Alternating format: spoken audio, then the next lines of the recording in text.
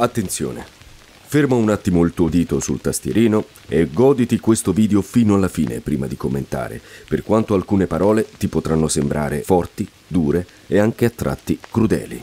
Questo video va visto fino alla fine.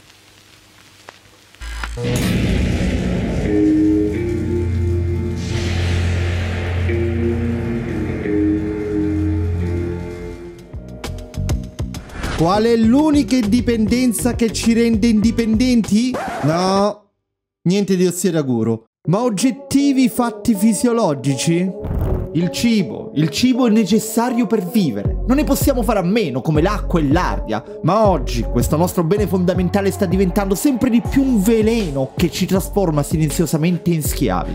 Pensateci bene. Quante volte vedete pubblicità di un buon pacco di lattuga o di un petto di polle ferri? Quante volte vedete in giro pubblicità di legumi o frutta fresca? So già la risposta, non le vedete affatto. E invece quante volte avete visto la pubblicità del nuovo fast food che ci propone la peggiore merda? La peggiore merda, sì. Ma venduta a caro prezzo. Certo, perché per venderci questo schifo lo si cerca di abbellire con le più efficaci tecniche di marketing. Ci fanno credere che sia buono, che sia cool. È il mio preferito. Ma in realtà è pura tossina. Cibo finto, con ingredienti di merda, fatto in fretta. Su via, Donny, ma tu sei troppo estremo. E poi, sinceramente, io non ho tempo per cucinare. Ah no? Uh, quante ore hai passato? Davanti a questo. Allora zitto. La verità, e mi sembra anche folle doverla specificare, è che questo cibo di merda è una vera e propria bomba per il nostro corpo e la nostra mente. Una botta di zuccheri, grassi saturi e additivi pericolosi che amalgamati da ingredienti super processati non solo intorpidiscono il palato ma anche la nostra mente, non facendo altro che rincoglionirci. Che poi magari a qualcuno piace, eh? Ma certo, mangiamo come se non ci fosse un domani, sfondiamoci con le merendine, così magari la botta di zuccheri non mi farà sentire il peso dei miei pensieri. Ma lo sapete bene, se un minimo mi conoscete, non esiste alcun espediente con cui un uomo riuscirà ad evitare la fatica di pensare. Avete una scelta, buttare quella cazzo di droga e affrontare il vuoto che vi circonda o continuare a fare schifo perché questo è quello che fate. Schifo. Andate, forza, su. Continuate a mangiare questa roba, ingrassate, ammalatevi, non guardatevi attorno, piuttosto statevene chiusi in casa a ingurgitare la terza vaschetta di gelato del discount. Chi se ne frega, giusto? Non riesci a fare le scale? Usa l'ascensore. Non riesci a camminare? Comprati una macchina. È l'etica capitalista, baby. Il capitalismo è una soluzione ai tuoi problemi, o meglio, un prodotto. Vai tranquillo. Se vuoi tornare in forma, compra questo macchinario. Fatti seguire dal fake fit influencer di turno senza competenze. Credete davvero che la soluzione sia comprare di più?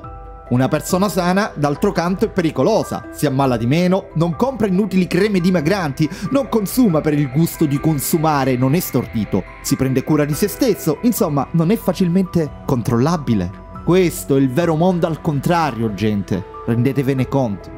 Il cibo è una delle cose al centro di questa follia ed è importante che se ne parli quindi.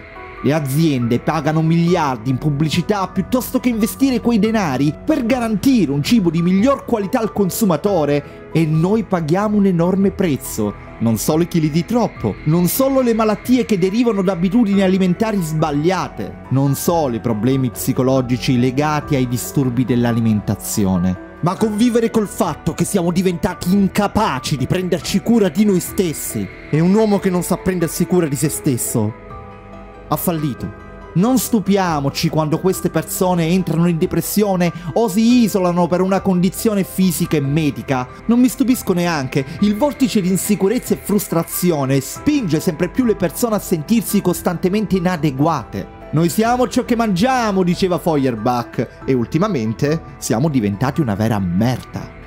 E attenzione, non è sempre stato così. Mensana in corpore sana, vi dice qualcosa? Il cibo che un tempo simboleggiava cura e condivisione è diventato un'arma nelle mani di un sistema che ci vuole deboli.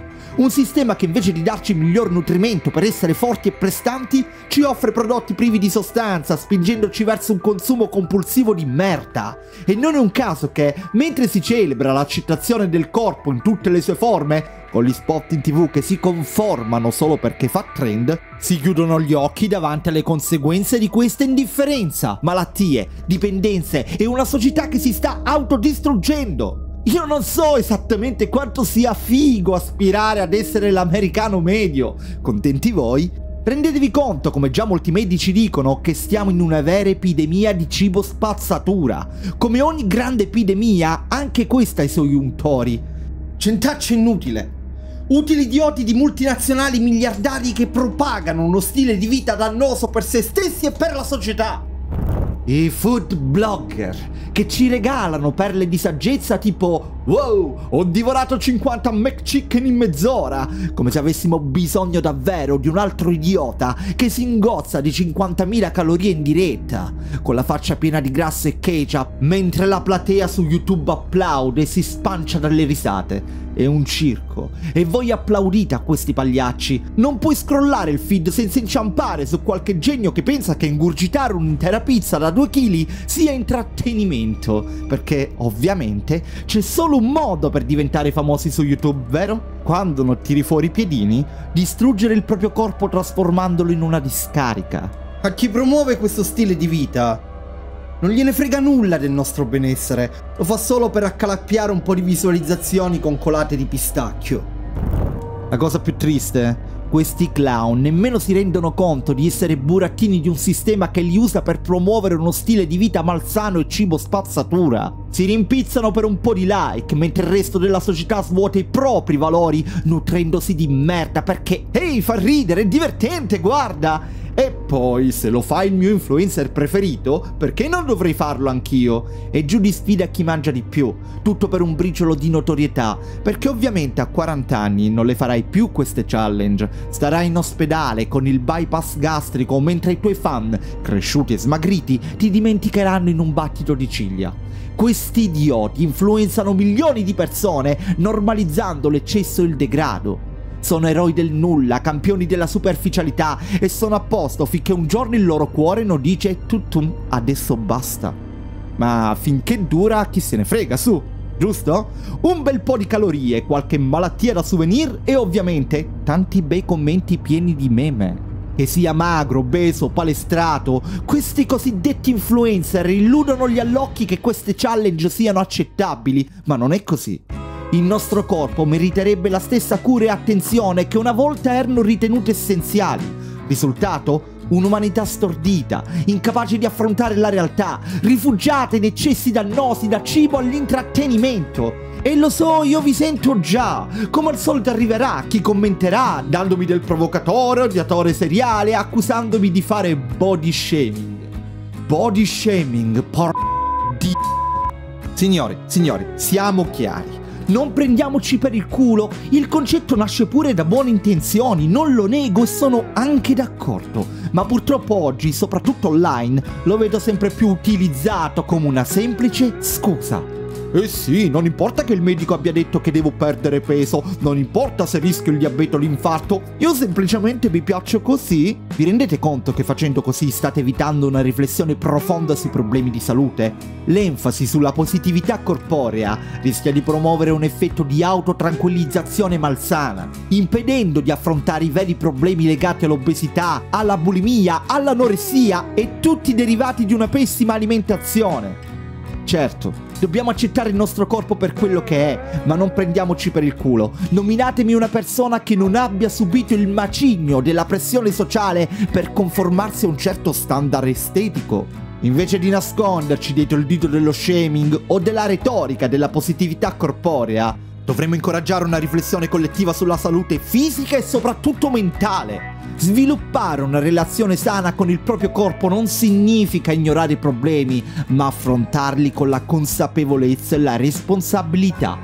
Siamo a un bivio cruciale, ma non è tutto per tutto. Non dobbiamo rassegnarci all'idea che la nostra società sia destinata a sgretolarsi sotto quintali di una modernità che ignora le virtù fondamentali c'è una strada, un cammino che possiamo percorrere insieme e un cammino di consapevolezza e rinnovamento. La soluzione non è arrendersi e lasciare che i nostri vizi e la gratificazione immediata ci trascinino sempre più in basso. Dobbiamo riprendere il controllo delle nostre scelte e non lasciare che sia solo la nostra incontrollabile brama di zuccheri o di follower a controllarci.